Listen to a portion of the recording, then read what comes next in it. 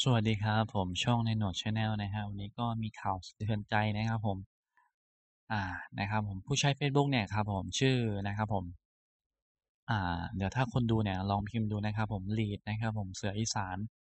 อ่าถ้าคนไม่เจอเนี่ยแอดมินก็นะครับผมจะแปะลิงก์ไว้ให้นะครับ ผมให้เป็นดูเป็นหลักฐานเนะแล้วก็ถ้าใครจะช่วยเหลือเนี่ยก็ทัก inbox หาเจ้าของเฟซได้เลยนะครับผมเป็นพ่อหนุ่มเนี่ยครับผมเอาไวัย เป็นพ่อลูกอ่อนนะครับผมวัย8เดือนนะนะครับผมเปิดหมวกร้องเพลง ผ่านไลฟ์สดนะครับผมเพื่อนำมาช่วยเหลือครอบครัว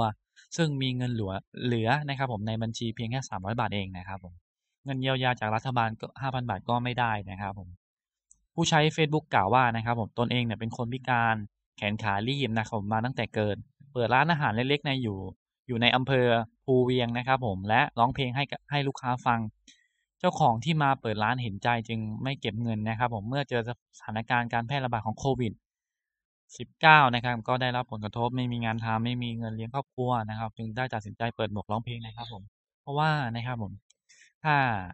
อ่าพี่เขาคนเนี้ยนะครับ ผมถ้าเขามีงานทำเนี่ย เขาคงไม่หาหนทางนะครับ ผมมาไลฟ์สดนะครับร้องเพลงในในเฟซบุ๊กหรอกนะครับ ผมก็เห็นใจนะครับ ผมคนมัน บางคนน่ะนะครับ ผมเจอในเฟซบุ๊กเนี่ยบางแอดมินก็เห็นใจนะครับบางคนเนี่ยไม่มีทางเหลือเลยนะครับ ต้องหา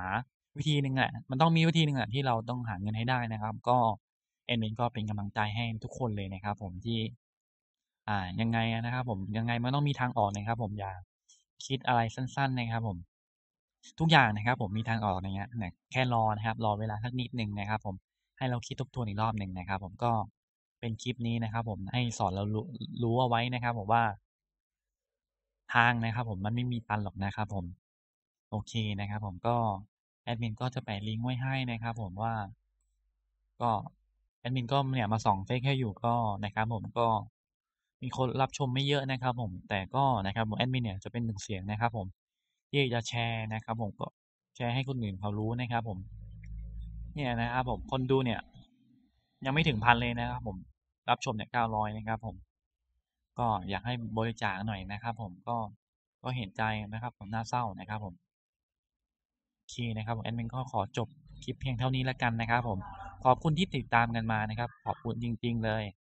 ก็ทำให้แอดมินเนี่ยมีกำลังใจทำคลิปต่อไปนะครับผมแล้วก็คนที่เข้ามาชมใหม่เนี่ยยังไงก็ฝากติดตามกันด้วยนะครับผมติดตามกดไลก์กดแชร์เป็นกำลังใจให้ผมทำคลิปต่อไปด้วยนะครับผมขอบคุณครับ